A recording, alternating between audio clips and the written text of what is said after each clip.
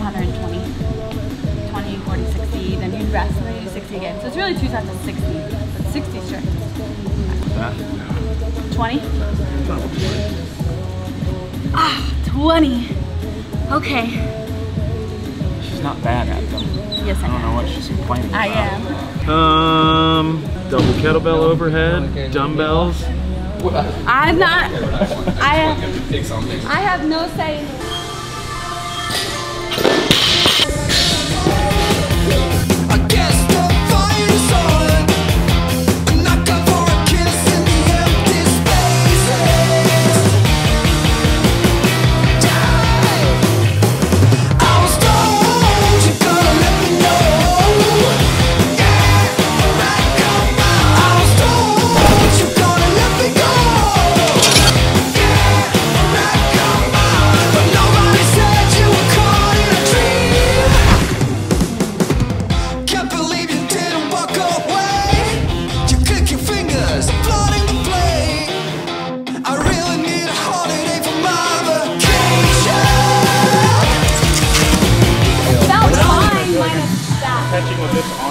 Out here. Like I Yeah, you can't. Yeah. Weird. It's almost like things are connected. Like left shoulder's out of place, so you twist funny, and then your knee hurts. Weird. Just keep them off your shoulders. Oh. So no Christy style front racks. I don't know how else you would. I think That's should like a- just go elbows up. Yeah. So I don't know if that's Fine. not okay. It's gonna be a good shoulder burner. But at least you get to kip. That should help.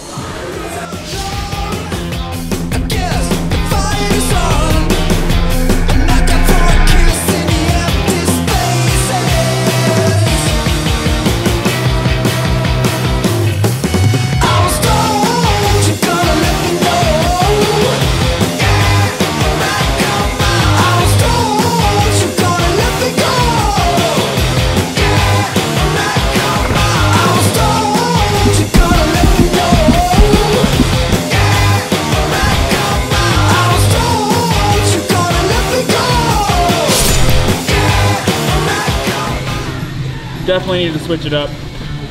Maintain the intensity. The first one, heart rate was up, but it was more of like a shoulder muscle fatigue kind of workout with the overhead, plus the handstand push-up, plus catching a heavy weight overhead. The interference there was pretty high, and so called a little audible front rack lunge, which enabled you to basically go down and right back.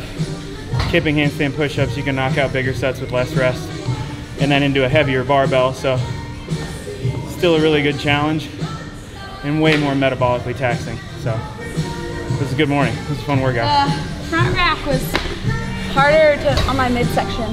yeah, like, here I and like my, breathe. my back, Yeah. trying to stay Which upright. I was surprised about. Like I just felt like my abs were working a lot a lot harder. I thought the lung my legs were tired from lunging. I think I'm still like favoring my ankle a little bit. My shoulder's a little out of place, so like when it got heavy and I was tired, I just couldn't catch it in the right spot. But power, my pull is still really strong. My squat's still not strong enough. If we had repeated that first one, it would have been garbage. It would have been Nightmare. completely No been worthless. Yeah. Average time spent doing an open workout over the course of the open, I think I averaged at one point. It's like nine minutes.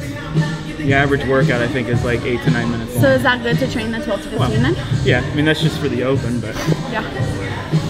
I bet if you look at regional workouts, I bet they're 12 to 15. And our sanctional workouts, at least at the Filthy 150, was around the same.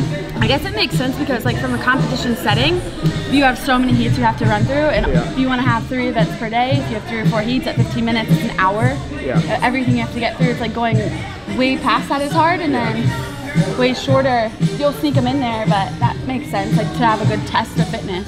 Definitely back in the groove this week with training.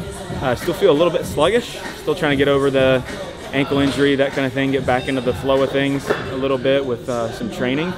Um, but having fun doing it. Glad I don't really have to travel a whole lot. Going to be around at home for a little while, working on the barn, and just uh, getting some good training in, having fun doing it. So um, feels good to kind of be back in the swing of things. And events coming up, definitely going to be down at the Mayhem Classic coming up in January. And then looking forward to the Rogue Legends event coming up in May, I believe. So those are kind of the next two things on on the horizon, and what we're going to be working towards uh, as those dates approach.